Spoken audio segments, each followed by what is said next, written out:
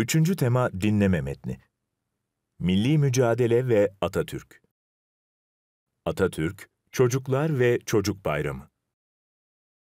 Küçük hanımlar, küçük beyler, kendinizin ne kadar kıymetli olduğunuzu düşünerek ona göre çalışınız.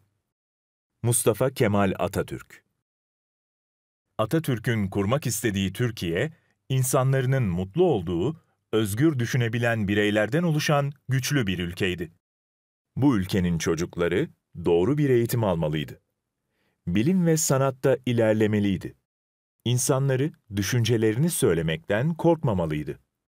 Duygularını başka insanlarla paylaşabilmeliydi. Çağdaş ülkelerin bir eşiti haline gelmeliydi. Türk ulusu hem Atatürk ile hem de kendi varlığı ile gurur duyuyordu. Atatürk, geleceğin çağdaş ve güçlü Türkiye'sini çocuklara emanet edecekti. Dünyada ilk defa çocukları hatırlayarak bir çocuk bayramı yapma fikrini ortaya atan ve uygulayan devlet adamı Atatürk'tü. 1920 yılının 23 Nisan gününü çocuk bayramı olarak tüm çocuklara armağan etti. Dünya onun sayesinde böyle bir fikirle tanıştı.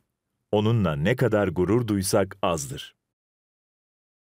Levent Gönül Çocuklar için Atatürk ile felsefe